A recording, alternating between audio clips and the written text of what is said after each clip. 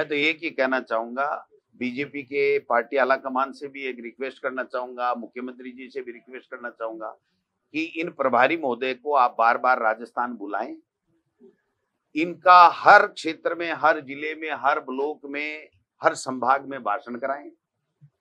क्योंकि ये बीजेपी रूपी जो लंका है ना, क्योंकि अब लंका सोने की चिड़िया थी और बीजेपी सत्ता में है तो सोने की चिड़िया ही है। तो बीजेपी रूपी जो लंका है, उसमें प्रभारी रूपी हनुमान जी अपनी पूछ के आग लगा के आए इसको जला के जाएँगे, ये मैं गारंटी सुधा कहता हूँ।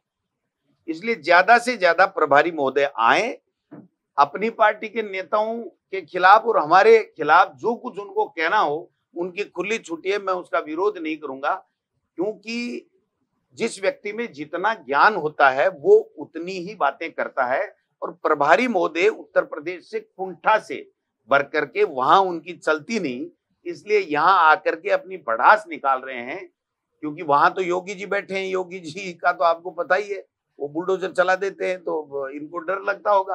तो यहाँ आकर के अपनी कुंठा मिटाते हैं, भाषण देते हैं, लेकिन एक इतना बुज़ुर्ग आदमी, इतना राजनीति में रहा हुआ व्यक्ति, अगर इस तरीके की मर्यादित भाषा का प्रयोग करेगा तो भाई साहब, ये राजस्थान है। राजस्थान के लोग उसको बता देंगे कि भाई साहब, ये राजस्थान है। उन्होंने हमारी छह की छह सीटें जिताने की और भारतीय जनता पार्टी को सुनने पे लाने की सौगंध खा रखी है। मैं समझता हूँ उसी दिशा में ये वो काम कर रहे हैं।